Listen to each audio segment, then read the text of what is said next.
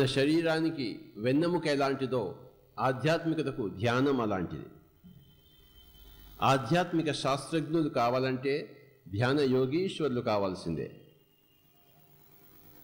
వెన్నెముక లేనిదే శరీరం లేదు నిలవదు. శరీరానికి వెన్నెముక మౌలిక ఆధారం. ఎలాగైతే ఒక బిల్డింగ్కు పునాది ఎలాంటిదో ఆధ్యాత్మికతకు ధ్యానం అలాంటిది. పునాది ఎంత గట్టిగా ఉంటే మరి పైన ఉన్న సూపర్ స్ట్రక్చరు మనకు కనపడేది అంత దృఢంగా ఉంటుంది. పునాది కనపడనిది. ఇల్లు కనపడేది. పునాది మీదే ఉంటుంది. ఈ పునాది లేకుండా ఇల్లు హాస్యాస్పదం. పేక మేడ. సరి అయిన భారతావనిని మనం నిర్మాణం చేసుకోవాలంటే పునాది. పునాది ఉండి తీరవలే. ఆ పునాది పేరే ఆధ్యాత్మికత ఆ ఆధ్యాత్మికతకు మరొక పునాది ధ్యానం పునాదికి పునాది ధ్యానం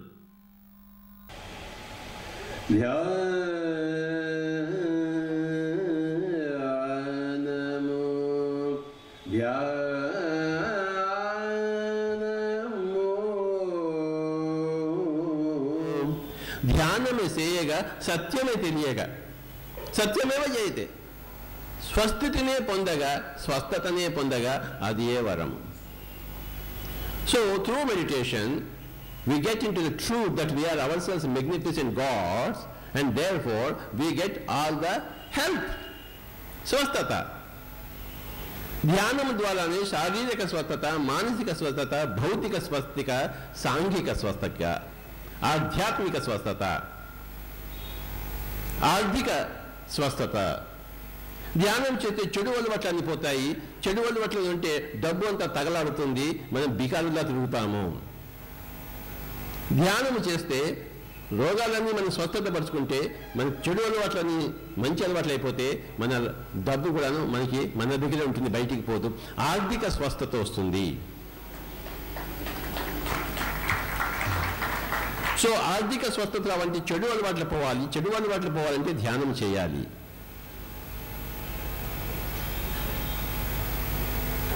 ఎవడు కుబేరుడు కావక్కర్లేదు కానీ ఆధ్యాత్మిక స్వస్థత కావాలి.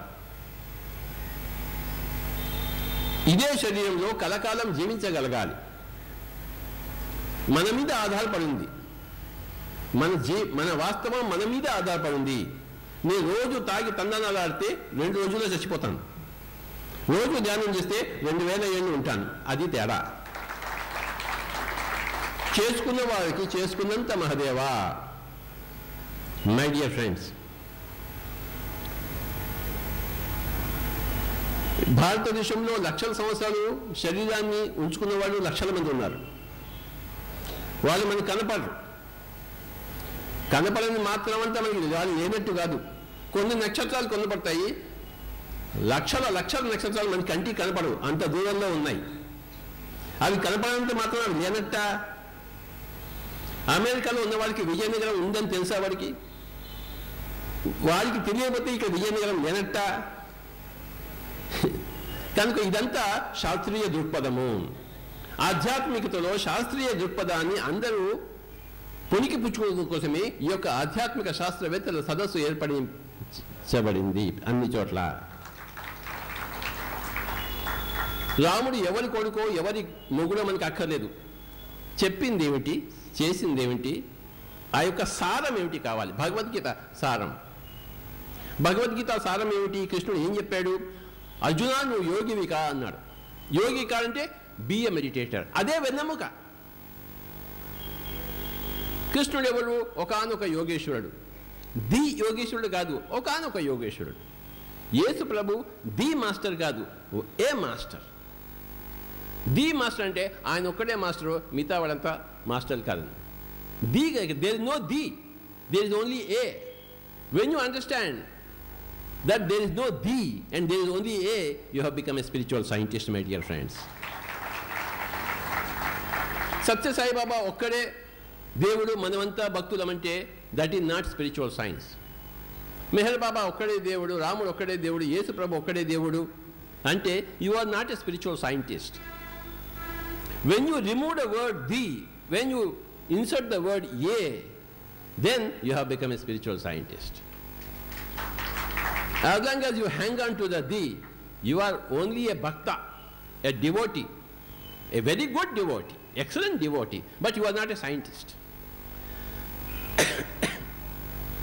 ఒక డివోటీకి ఒక శాస్త్రవేత్తకు హస్తి మశకాంతర భేదం ఉన్నది హస్తి అంటే ఏనుగు మశకం అంటే చి ఒక చి చీమ అంత తేడా ఉంది హస్తి మశకాంతర భేదం జమీన్ ఆస్మాన్కి ఫరక్. భూమికి ఆకాశం ఉన్న తేడా ఒక భక్తుడికి ఒక శాస్త్రవేత్తకు ఉంది. రాముడే దేవుడు అనుకుంటే ఇంకోటెవడు దేవుడు కాదు? అనుకుంటే నువ్వు రామ భక్తుడివి కానీ శాస్త్రవేత్తవు కావు ఇది శాస్త్రవేత్తల సమాఖ్య. శాస్త్రవేత్త కానిదే ముక్తి మార్గం లేదు. ముక్తి అంటే విడుదల. దేని నుంచి విడుదల? దుఃఖం నుంచి అనారోగ్యం నుంచి అజ్ఞానం నుంచి అంధకారం నుంచి విడుదల. తమసోమ జ్యోతిర్గమయ. తమసు నుంచి జ్యోతి వైపు అంధకారం నుంచి ప్రకాశం వైపు. మృత్యోర్మ అమృతం గమయ. మృత్యు నుంచి అమృతం వైపు. అసతోమ సద్గమయ. గమయ అంటే తీసుకెళ్ళు అని అర్థం. ఎవరు తీసుకెళ్తారు? ఇంకోటి మీద ఆధారపడితే నువ్వు శాస్త్రవేత్తవు కావు. గమయ్య అంటే శాస్త్రవేత్తవు కాదు. నేను సాధిస్తాను అంటే శాస్త్రవేత్తవు. ఎవడు నిన్ను చేతి పట్టుకుని ఆరోగ్యం వైపు తీసుకెళ్ళాలి జాలడు. చేతిని పట్టుకుని సత్యం వైపు తీసుకెళ్ళ జాలడు. తీసుకెళ్తాడు అనుకుంటే అది అశాస్త్రీయము. కనుక ఎవరికి వారే యమునా తీరే?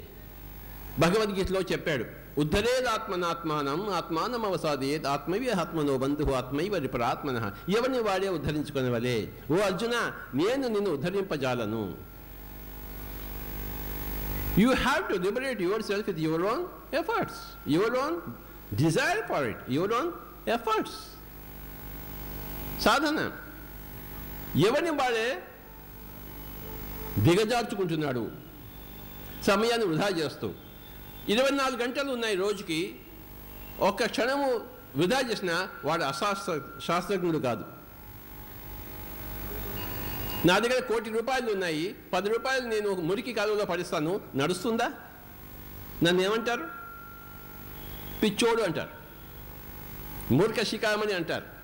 నేను నేను కోటీశ్వరుడిని పది రూపాయలు రోడ్డు మీద చెంపేస్తాను అనుకో నన్ను జైలు తీసుకెళ్తారు. పది రూపాయలు చెంపవలసిన చెంప నీకు అర్హత లేదు. అది గవర్నమెంట్ డబ్బు అది. నేను రోడ్వే నేను జైలు పాలు చేస్తారు. పది రూపాయలు నోట్ చింపని చూద్దాం. Impossible that is against law నీ దగ్గర ఉండొచ్చు కాక రూపాయల నోటు. దాన్ని చింపే అర్హత నీకు లేదు.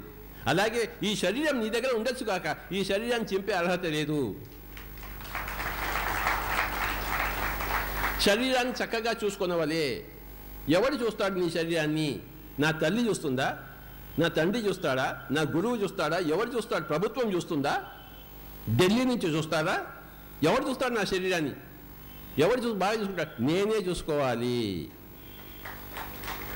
ఉద్ధరేద్ ఆత్మనాత్మానం ఆత్మానం అవసాదేత్ ఆత్మైవ ఆత్మనో బంధు ఆత్మైవ నిపరాత్మన వేదవ్యాసుడు ఒక గొప్ప ఆధ్యాత్మిక శాస్త్రవేత్త. వేదవ్యాసుడు గట్టిగా చెప్పలు కొడదాం ఈ సందర్భంగా మనం.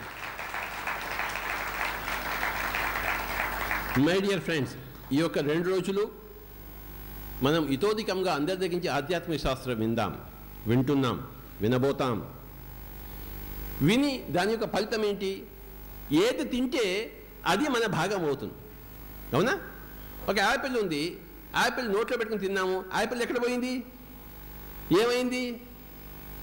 మన శరీర భాగం అయిపోయింది.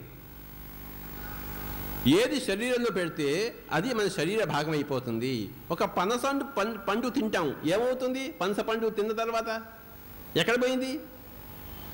మన నర నరాల్లో ఇంకిపోయింది. మన శరీర భాగం అయిపోయింది అలాగే ఏది వింటామో అది ఒక మనస్సు యొక్క భాగం అయిపోతుంది శ్రవణం. ఏది తెలుసుకుంటామో అది మన బుద్ధి యొక్క భాగం అయిపోతుంది కనుక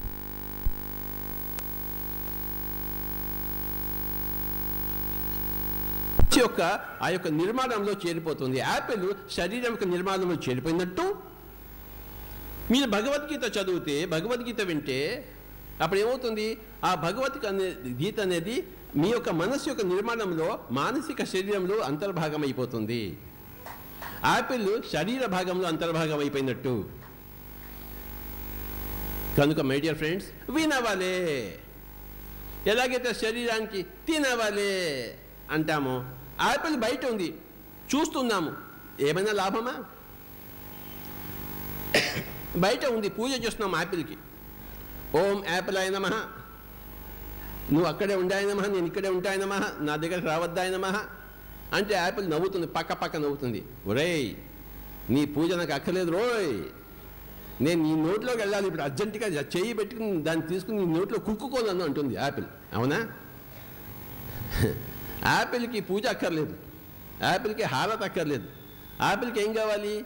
నీ నోట్లోకి వెళ్ళాలి యాపిల్ అప్పుడు యాపిల్ నీ శరీరం అంతా ఇంకిపోయి అప్పుడు యాపిల్ సంతసిస్తుంది. అలాగే కృష్ణుడిని పూజించడం కాదు. కృష్ణుడు చెప్పింది మనం గ్రాహ్యం చేసుకుంటే అది మన నరనర మనస్సు యొక్క నరనరాల్లో ఇంకిపోతే అప్పుడు ఆ కృష్ణుడు సంతోషిస్తాడు యాపిల్ సంతోషిస్తుంది. అందరికీ ఈ యొక్క Indian federation of spiritual scientist తరఫున ఆహ్వానం.